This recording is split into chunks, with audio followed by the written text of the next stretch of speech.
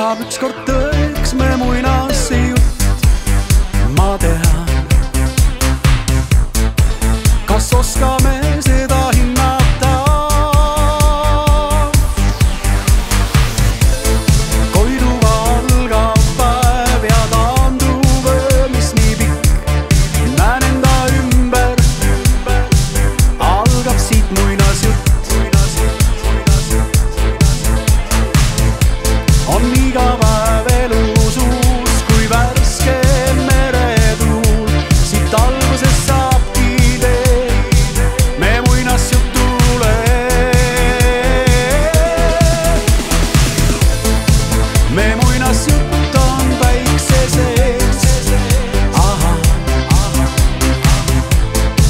Me voy nació